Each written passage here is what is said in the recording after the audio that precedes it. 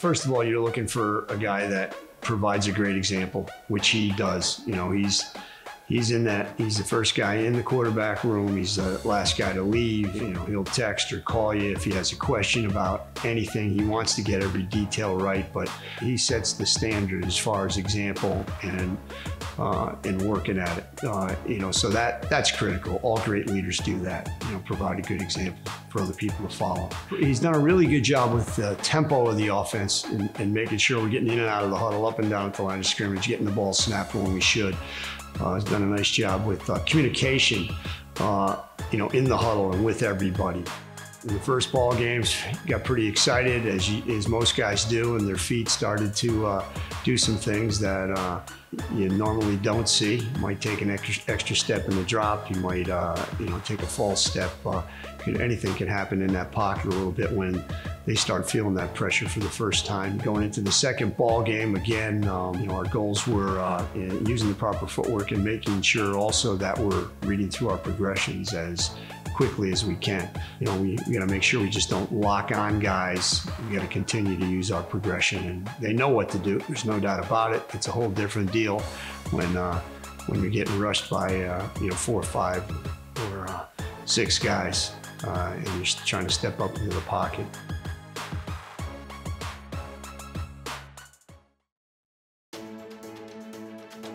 Gorgeous Saturday morning for Hawkeye football. We're at Kinnick Stadium. Gary Dolph and uh, Ed Podolak getting ready for the Hawks and Michigan State, the Spartans. It's been a great rivalry. Two teams built the same way. Mark Dantonio said that when he went to Michigan State almost 15 years ago. Mel Tucker's picked up the wand, and he said he has uh, a lot of respect for uh, Kirk Ferentz. There's no mystery here. 60 minutes, everybody's best. Uh, a lot of intensity, a lot of heart, a lot of toughness out there. Let's go. The Hawks trying to uh, turn it around and get off that 0-2 start. That hasn't happened in uh, 20 years when Kirk Ferentz was just in his uh, second season.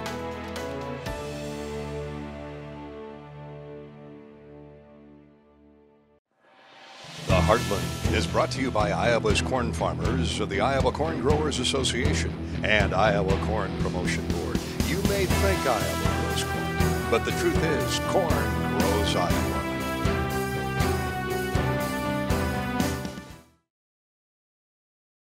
Right, the Hawks will get the ball first. Michigan State will kick off. Second and short.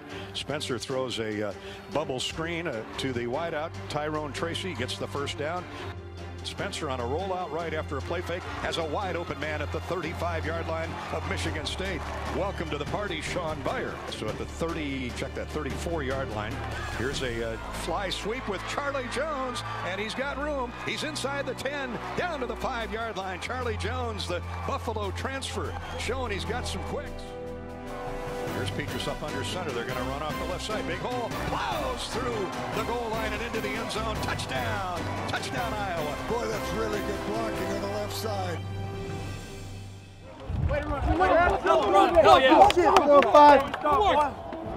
Now they run the uh, jet sweep and dogging it all the way is Zach Van Valkenburg. And he stepped right in the driver's lane and crushed Jalen Nailor for a loss. Looks left, now he's grabbed and fights his way out of a sack. Now throws downfield and nobody home except a Hawkeye. And it's intercepted. Now, was he inbound? Yeah, I think he was. That's Koerner. And Ragaini goes in motion. One running back is Ivory Kelly Martin. Petras dumps it on a crossing pattern. First down, still running down the near sideline is uh, Nico Ragaini. He turns on the afterburners and gets all the way down to the Michigan State 32. Well, now that's a, that's a terrific play there by Spencer. Inside the 30 at the 29. Blitz coming. Petras gets rid of it. Kelly Martin is running inside the 20. First down 15. Still on his feet inside the 5. I think they're going to bring it back outside the 10. But it is a first down and the Hawks are on the move again. Here he is on third down. Fires to the end zone. Caught. Touchdown. Brandon Smith. Talk about a mismatch. Please, man-to-man -man him all day long. Brandon Smith just circled to the football, got in front of the defender. The defender was in front of him, and then Brandon just flicked him out of the way. There was body contact both ways and gathered in uh, the uh, corner route. Touchdown, Iowa. That's it, guys. Nice job, Brandon. Nice job. Stay on. There you go. Good job. Run it straight ahead, does Michigan State, and a good job getting to the outside and dropping the ball carrier for no gain. In fact, John Waggoner Yep, just came into the game and made a nice play. Fourth down and five, and here's Baringer. This one's much better. High hanger, Charlie Jones makes the catch at the 23. He's going to return it. Gets the corner turn. Oh, yeah, he ran by a couple white shirts, 40, 45 midfield. Oh, and he just can't quite escape an ankle tackle in Michigan State territory. Tyler Goodson and Mekhi Sargent both out there now with uh, Spencer Petras. They run the draw to Sargent. Big hole off the right side, inside the 15, down to the 12-yard line.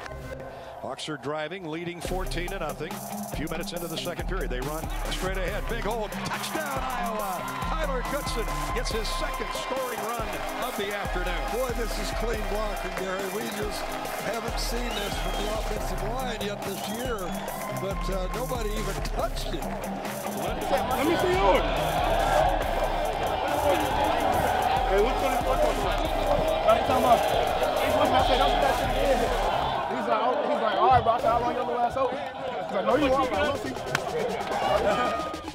Second down and short, the ball at the 35. Fake on the run this time. Lombardi's hit as he throws it up, picked off. Intercepted by the Hawkeyes. Iowa gets the ball right back. Barrington Wade, the linebacker. Here comes the punt. Oh, this one's returnable, low line drive. Charlie Jones at his own 46. Goes right to left, now down the near hash mark. Wide open territory. 30, 25, 20, 15, 10. Inside the 10, 5, goal line, touchdown! Touchdown, Iowa! Touchdown, Charlie Jones! Is that young man something? Every time he gets the ball in his hands, it is exciting to watch. What blocking, uh, although Michigan State looked like they they overran the play to the wide side of the field, and there was nobody home on the short side. Yeah, I think Let's go, baby! Here's Lombardi, straight back to pass, good protection, and the pass, now he runs out to his left, throws it away again. Another interception, picked off this time by Riley Moss. Riley's down the near sideline, and he's got nobody in front of him. Touchdown, Iowa! Touchdown, Iowa! Touchdown, Riley Moss! Oh, he's so happy because he got turned around early in the game for that big gainer, and that one he just stepped right in front of the receiver and took it to the to the bank. Hawks up 34 nothing, pending the extra point try. Yeah, I was, I was about to dive right in front of that. You know, you show return. Woo! You show return. Up the numbers, baby. Bottom of the numbers. Time 35 nothing. All three phases heavily involved for the Hawkeyes. The Heartland is brought to you by Hy-Vee, where there's a helpful smile in every aisle. Hy-Vee proudly supports the Iowa Hawkeyes. University of Iowa Healthcare, changing medicine, changing lives. All right, again, nothing changes, right? We start right back at the start. Everybody plays as hard as they can. Team football, aggressive, tough, lot of heart. Let's go. Let's go. Yes, sir. Yes, sir. We gotta finish it. Dane Belton in there at the cash. And here's Lombardi. Now he's going to throw on first down. Rush, sacked. It's a fumble. Oh, it is. Called it a Oh, I'm fumble. sorry. It is a fumble, and running with it is Daviyon Nixon. It's a touchdown. And now they're going to talk it over. Well, I think his yeah, I think his arm was. I think he's trying to throw it away into the, uh, uh, kind of a sidearm pass. It was a forward pass. However, there was a foul for intentional grounding. Third and a little less than 20. Lombardi back to pass. He's going to go for it all. He's got a guy open, caught at the 20-yard line and out of bounds at the 15. What a beautiful spiral on third and goal at the uh, Iowa one. They do a tight end handoff, and it's a touchdown. Over the pylon is the little-used Tyler Hunt. Here's Petras. They run the draw handoff. Big hole down the middle of the field. And there he goes. Goodson at midfield 40, 35 30, 25 20. Sheds a tackle inside the 10 to the 5 to the 4. And down there, caught from behind. A heck of an effort by the Michigan State defensive back who came all the way across the field. And at least for the moment, Kalon Gervin has saved the touchdown. But what a run by Goodson. Oh, third and goal. Hawks need to score here. Sargent on a cutback. Fight for the goal line. Is he over? Yes, sir. Touchdown. Touchdown, Mekhi Sargent.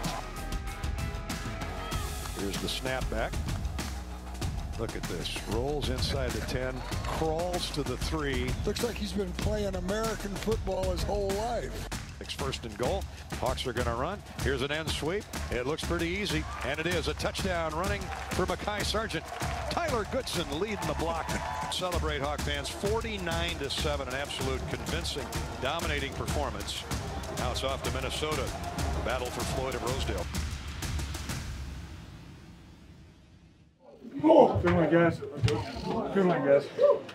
Nice job. Nice job, guys. Nice job, huh? Nice job, guys. Good one. Good one. Now we got a chance to build some momentum, all right? We've got to learn how to practice better. Okay? This is the, the facts of the game. If we want to move forward, that's what we need to do. All right? So everybody good on that? All right, then the other stuff, okay. First of all, really happy for you. Earned it. All right. Boom, right there. Ready to play. All right, proud of you guys. And the third thing is I hope everybody learns right? Learn a little bit about what this is all about. All right, when we do that, okay, we're pretty damn good. We got a chance to be good. That was a good start. Okay, now the second thing is we're gonna learn a little bit more about this team this week. Because we got a short week, all right, and we got a little success now, right? You have to get ready every day. You gotta understand what the target is. You have to get ready every day. You can't get distracted. So enjoy the hell out of this tonight today and tonight. Get off your feet and let's uh, make sure we keep our focus on next Friday.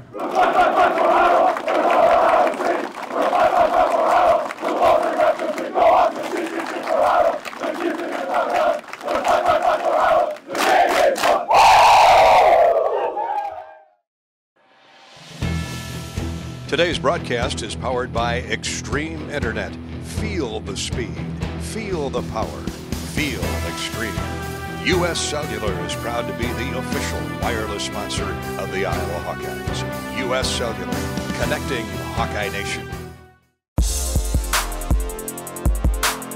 We knew off the motion they were uh, their their defense like the rock and roll, so that was the main uh, focus uh, to get the defense to open up, and it worked as we planned. It looked like it did in practice, and from there it was all about just going running through the hole and trying to get to the end zone.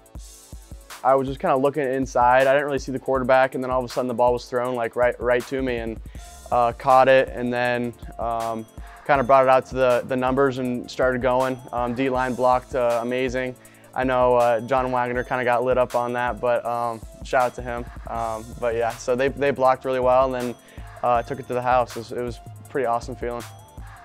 It was uh, man coverage, so it was just me and the DB one on one and uh, Spence just uh, threw a ball up there, and uh, I just made a made a play on the ball, and um, yeah, the corner he was kind of kind of was kind of even, so it was I was gonna have to uh, I knew I was gonna have to like do something like throw him by or something, but uh, it all worked out well.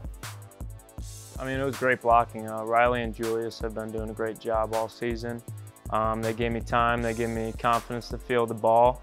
Um, and it was a low punt, so right when I caught it, I saw they had their guys blocked. Um, basically just made it easy for me. Um, made a quick couple steps to the right, and when I went left, it was wide open. Um, like I said, it was just great blocking. We, we don't really have that many trophy games this year just because of our schedule and, and COVID. So um, the ones that we do have, um, it, it, it's a little bit more motivation for sure. Their running game is really good this year. their running back is, is pretty crazy. Um, so stopping the run is going to be our number one priority. Um, and then their receiver, they have they have uh, Bateman and a couple other guys that are, are pretty dangerous. So um, locking them up will be will be a big priority as well. My opinion, trophy game or not, I feel like that uh, each game that we play, uh, we should come with the same intent and the same drive to just go out there and and uh, win. The Heartland is brought to you by Iowa's corn farmers of the Iowa Corn Growers Association and Iowa Corn Promotion Board. You may think Iowa grows corn, but the truth is corn grows Iowa. Athletico Physical Therapy. It all starts here. Uh, you know, he's a good veteran leader for us. And then Jack Campbell, a younger player, hasn't been able to play yet this year, but he'll uh, he'll return. Uh, we'll be careful how much we uh, work him and play him, but Be good to get him back uh, in the rotation, at least at linebacker. So happy about that. Uh, you know, this is obviously a short week. Uh, last week was a little bit distorted with uh, Tuesday being off, but this one is a short week calendar-wise. So uh, we had to turn the page quickly after uh, watching the tape on Sunday and get get right on Minnesota. And um, you know, also Floyd was in the weight room, so I think that was a good reminder. Just that this is a rivalry game. Every, game is important. Every win means a lot, but it's just a reminder that uh, this this one typically is, you know, very hard fought. Uh, nobody owns uh, the trophy. You know, you get to keep it for a year, or this time maybe less than a year, a day less. But nonetheless, it's it's a it's a one year rental. So.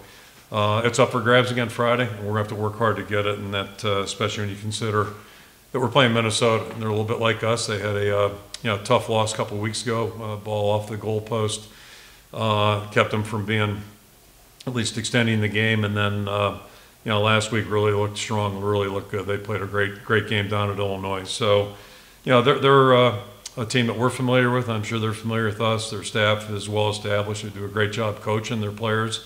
Uh, they're a very veteran team offensively and very explosive team offensively.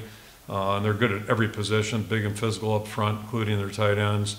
Uh, their, their quarterback has just uh, done a great job the last couple of years. He's just an outstanding performer and uh, you know just a really impressive player.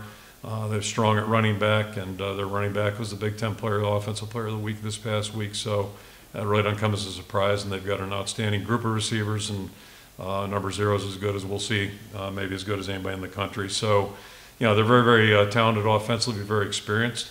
Defensively, uh, they had some losses there. They had, uh, you know, a lot of veteran players last year, uh, but they've got some guys back that are still playing extremely well, and they've got a bunch of guys that are really playing hard, giving great effort, like we saw from them last year as well. And the same thing about their special teams. Had you know some rotation with the specialists, but their their core guys are just really working hard and you know, so I think that's really represented their football team. Uh, they had a tremendous year last year. Uh, took everything for us uh, to, to, you know, get the victory in last year's contest, and I'm sure this will be very much the same. You know, we go right down to the wire, and uh, you know, we're going to need to have a finish out this week and have a great week of preparation. So. This week's Heart of the Hawkeyes feature is Ann Lau, a loyal Hawkeye fan with strong ties to the Hawkeye Wave. Aurora Ann was born May 12, 217 and the Hawkeyes started doing the wave that fall. And not even realizing it was going to be affecting my family, it was so emotional. She's a miracle. She is a miracle. And Dr. Weinstein and his care team took a chance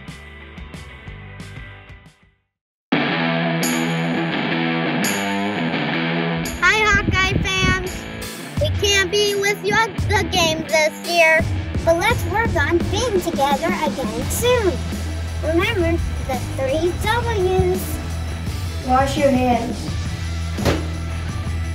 Wear a mask. Watch your distance. Do your part so we can see you next year. Go Hawks! Go Hawks! Go Hawks!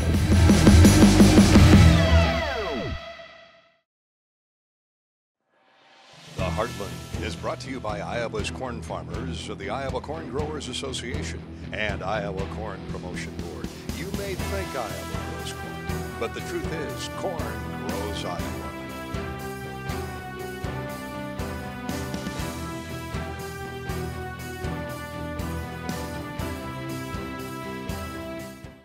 This has been a presentation from Learfield IMG College.